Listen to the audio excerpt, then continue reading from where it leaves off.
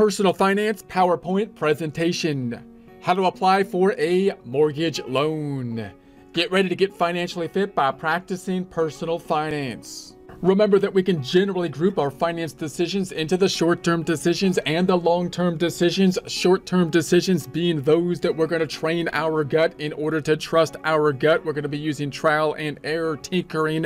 We're going to be honing down our habits so that we can trust our habits to make the short-term decisions, the long-term decisions using the adage of measure twice, cut once, not being able to use the trial and error, therefore needing a more formal process to go through the decision making process. Clearly, the home buying fitting into that category. So we might go and group our home buying process into the five sections here. Number one, determine the home ownership need. Number two, find and evaluate property to purchase. Number three, price the property. Number four, obtain financing. Number five, close the purchase transaction. We're now going to be looking into how to apply for a mortgage loan. Most of this information can be found at Investopedia, which you can find online and look at the references and continue your research from there. This is by Andrew Martins, updated February 17th, 2022. Finding the right home takes time, effort, and a bit of luck. If you manage to find a property that's right for you and your budget, then it's time to get one step closer to home ownership by applying for a mortgage loan. So obviously, most home buyers don't have the capacity to put straight cash down for the purchase of the home, and therefore the financing is necessary, a necessary process, a necessary step to the home purchasing. So, and though this is one of the biggest financial decisions you can make, knowing how to start and what you need will put you one step ahead of other potential home buyers. So you want to have a general idea of the process of the financing, the financing factors, what to do before applying. The first step in applying for a mortgage isn't necessarily filling out the paperwork. There's a lot of preparation involved before you reach that point. So clearly the financing component is going to be a substantial part of the decision for the home purchase process. You want to be factoring in how much home you can purchase. Clearly the financing component is going to be one of the things that you need to factor in to do so. And when you think about that, you have a whole world of different kind of financing options that are out there and possibly available to you. You might first want to hone down those financing options to the most kind of straightforward ones, possibly like the 30-year fixed type of loans, because those are going to be the ones that are most static most static in time generally, and most static from financial institution to financial institution, and then possibly make variants from that point. and as you do, you're going to expand a whole lot more of, of uh, loan options and, and you're going to need to do a lot more kind of in-depth comparison from there. For example, if you're changing to an adjustable rate or something like that, then that opens up a, a, lot more complexity in the process. So the more you prepare, the better off you'll be as you hit each milestone in the application process while trying to close on a house. Whether you're becoming a new homeowner or are looking to change homes, the following items are just some things you'll want to address before kicking things off. So clearly when you're going into the home purchasing process, then you're doing a, a, negotiation, you're on the market, you're competing with other purchasers. And obviously, if you were on the other side of the table, if you were the one selling, you want to be secured that the person you're negotiating with can pay the amount that they're saying that they're going to pay. So you'd like to get everything lined up so that you could provide that security and, and close the deal when you're really getting serious about the home purchasing process. Consider your credit score. So, the credit score, of course, is going to be important to try to get the best deal on the lending deals. So, lenders will want to know your credit score as you gear up to start your mortgage application process. Check your credit ratings and make sure it's in good shape. So, you can check out your credit scores, obviously, and try to try to get a feel for them. Uh, if there's substantial time before buying a home and you have the capacity to make changes to improve your credit scores, you can look into the ability to do so. Though each lender will typically have a minimum credit score in mind for prospective mortgage applicants, uh, Experian uh, est- estimates that the minimum FICO, FICO FICO score needed to secure a conventional mortgage is in the 620 range. So you can kind of target that number. You can check out uh, your credit scores there and see if you're in that range. Uh, do your research early on in the mortgage application process, you want to make sure the lender you ultimately pick is right for you. A mortgage can last as long as 30 years, so the relationship is important. Do your due diligence and choose a lender that can best fit your needs. Decide on a mortgage type. There's no one size fits all mortgage solution for today's home buyers. Lenders offer several types of mortgages in a bid to meet the needs of diverse clientele. So you got obviously loan terms can vary greatly in terms of the types of loan terms that are out there. Sometimes you can think of the baseline. I like to think about, you know, kind of what is a standard home loan for the most part, because those are the ones that are likely to be more static. You can kind of look at those as the ground floor and then start to compare and deviate from them, noting that as you do so, they will get more complex and that complexity will be applicable further out into the future. As you do that, you probably want to get advice not only from people that are engaged in the home purchasing process, such as the lender or your mortgage broker, perhaps, but possibly someone else like a like a CPA firm or something, your tax preparer or an accountant, or possibly someone you can pay that is not directly involved or invested in the outcome of you actually purchasing the home, because you would think that that process, them being involved in it, would bias their decision uh, to some degree. So when deciding on a lender and a mortgage type, you'll encounter information about 15 year and 30 year mortgages, adjustable mortgages, and even mortgage backed by the US government if you qualify. The important thing is to seek out the best mortgage type to match your situation. So you got the, you know, you could have a 15 year mortgage, the 30 year, you can adjust basically the years in general. Those are like the two most common lengths of mortgages. 30 probably be the most common. And then uh, the 15 year mortgage, you can have the adjustable rate mortgages, which is a fairly big deviation from a fixed rate mortgage, which you've got to be careful of and understand what you are doing into the future because those rates can have a significant impact on your payments. And that adds a big deal of complexity and risk into the into the mix, but of course can start with that lower rate at least up front. And then the government, if you've got the uh, mortgages backed by the U.S. government, of course, and you can take a look at those items. Uh, gather your documents. The loan application process is just that, a process. You'll need to handle hand over documents that establish your credit worthiness and convince a lender why they should trust you to pay back potentially hundreds of thousands of dollars. So it's a significant thing. You got to think about it as you know it's a business transaction here so you might have like if the if it was a government backed loan or something like that you might whenever that we tend to start to think that the loan is some kind of just like like process or like a government thing or like it's not a business transaction. It is you want to start it off as yeah it's a business transaction right? The bank is making money from the interest that they're going to be getting from the loan payments. They want to give us a loan but they're balancing that out versus the likelihood or the risk, the likelihood that we're going to be paying back the loan, and that's the balancing tools that they're going to be putting uh, into place. So we got to think of it from the perspective of the lender in that case, and and if you do that, it'll be a little bit easier possibly to to comply with what they're doing or try to see why they're doing what they are doing, so that you can get them what they need and be able to kind of project or think about what it is they're looking for. So this paperwork will prove you have a settled income, list your assets, and lay out your financial obligations and debts. Have these documents ready before getting started. Uh, seek pre-approved from different lenders. So pre-approval from different lenders. Congratulations, uh, you've been pre-approved for. We've all received those letters in the mail for loans and credit cards and they aren't the same as a mortgage pre-approval. So that's something for which uh, you must apply. So clearly, you know, you're not just going to have some, you know, they're not going to just say, hey, you know, we've pre-approved you for a $400,000 loan typically or something like that for a mortgage or something. So you got to apply for that. So pre-approval will give you an idea of how much you can borrow and what kind of mortgage you'll have. So when you're getting serious for the loan purchasing process, then of course you want to be knowing that you got the money available to you in the event that you're going forward, you're pushing forward, you're making this thing happen. Do this before making an offer on a on a home because it lets the seller know you have the bank's backing.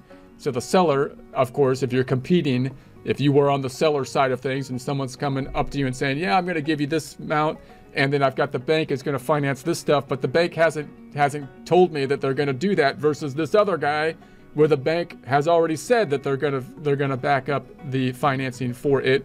Well, clearly, I'm going to feel more secure going forward with the with the person that uh, has has the money ready to go and the banks banks already said given the okay for it.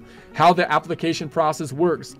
When you laid the groundwork for working mortgage application, you can begin the process in earnest. Remember that by entering the housing market, you may be competing against other buyers for the same property while at the same time negotiating your best price with the seller. So so when we go into this thing, it is a market, right? So we got to think about it from the bank's standpoint, we're doing business with them by getting a loan. They're going to want to give the loan if they can because they're making interest on it, but they want security on it because they're balancing the risk. And then we're going into business, of course, with the seller of the home. And as we do so, we're competing with others that might be wanting the home at the same time. We can compete on price, but that's not the only thing we want to be competing on. We also want to be be able to compete on anything that we can get an edge on, right? And that would include the idea that look, I've got I can got access to the money. I've you know here and now I'm ready I'm ready to move forward. This other guy's not ready to move forward, you know, and so that that's the kind of thing you'd like to be able to compete on as well.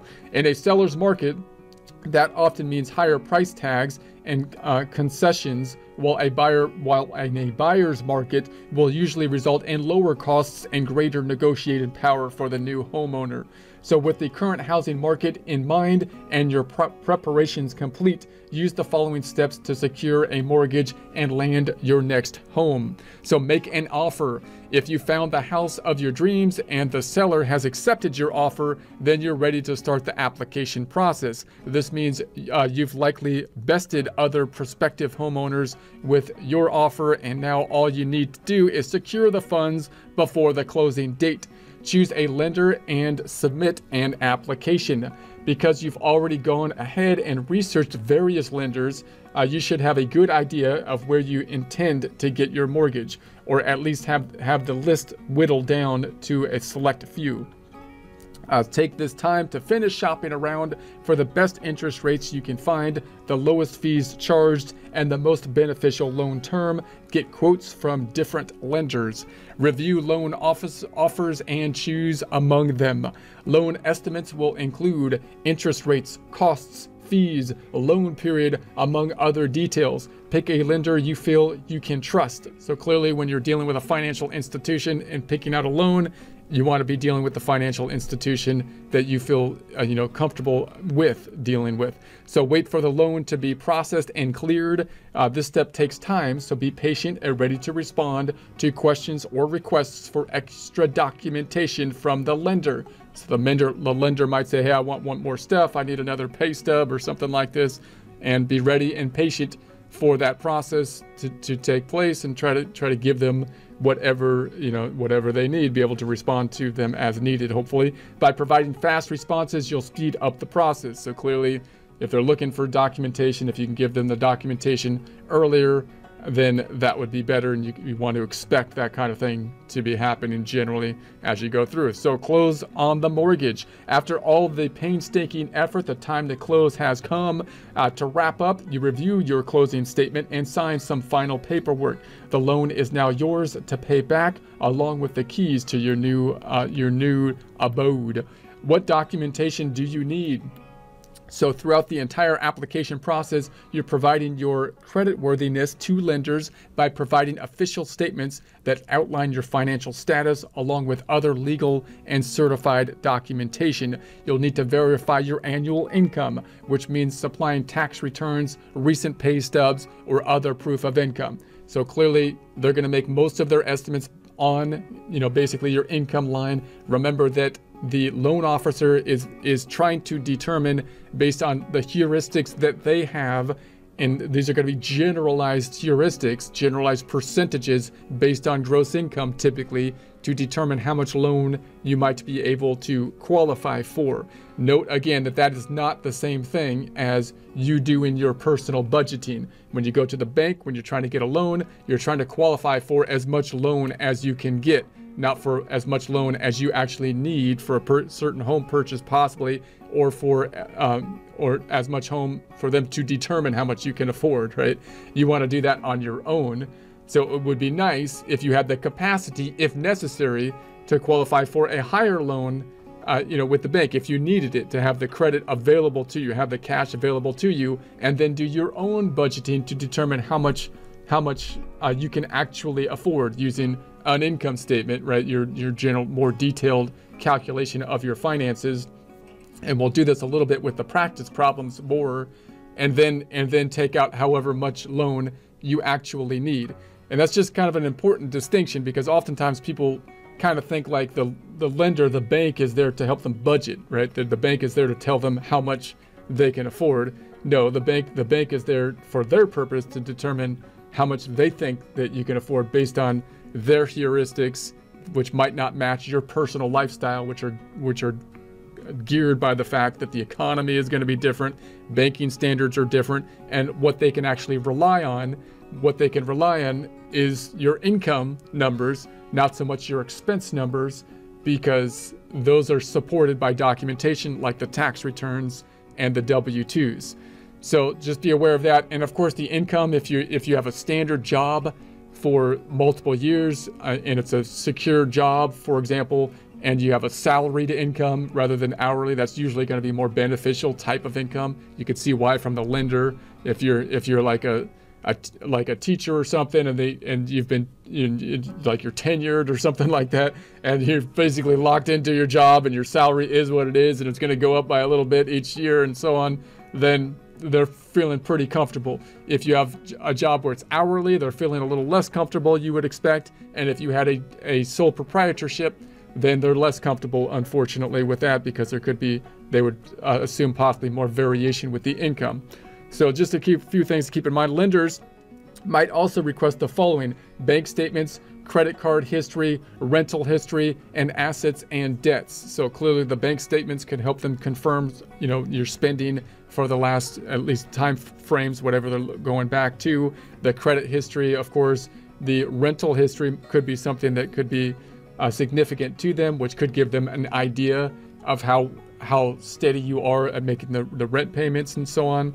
And uh, assets and debts, they might then dip into your actual balance sheet information assets and debt side of things. So additional documentation you should have on hand include signed copy of the sales agreement between you and the seller, identification and if necessary documents that explain credit blemishes like late payments and run-ins with collections. So if you have any credit issues, then you want to justify or try to say what what your side of the story is at least on that. I'll tell you why I didn't pay that. I was I totally had a reason that was justifiable. My my dog ate the ate the check, and then it, in any case, how long does the how long does the entire process take? You might ask. How long your mortgage loan application will take hinges on the number of factors. The average mortgage uh, took approximately 46 days from application to closing, according to the November 2021 ICE Mortgage Technology Ori- Origination Insight Report. The most important thing to remember is you should always be ready to address any questions or provide any supporting documents the lender may request. So clearly, if you're not giving the, the, the, the lender what they need, if they're saying, hey, I need you know this documentation to support your income level or your you know renting or this or that and you don't get back to them, that's going to clearly slow up the process. So by stating by staying on top of the process, you can help things moving.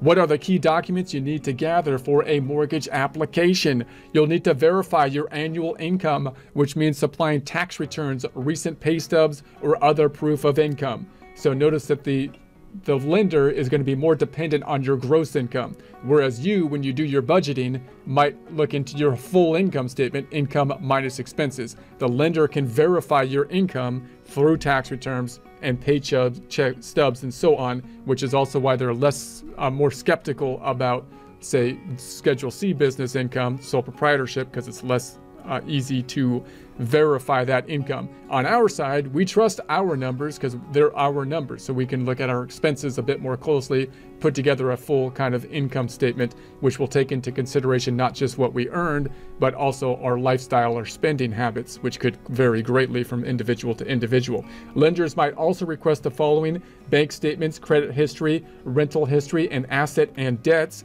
How important is a credit score to securing a mortgage? Your credit score is a is is is as critically important as other information you supply, so be sure to check it. So you want to keep an eye on your credit score because it's a significant factor. Lenders generally have a minimum credit score in mind for prospective mortgage applicants.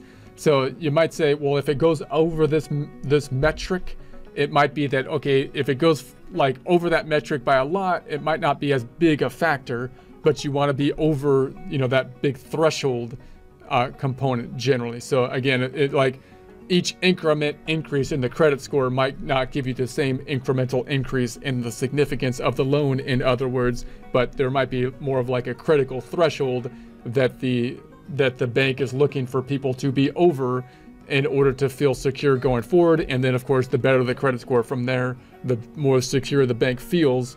But it might not, again, each incremental increase over that component might not have the same kind of positive impact on uh, the on the financing. So the minimum FICO, the FICO score needed to qualify for a conventional mortgage is around 620.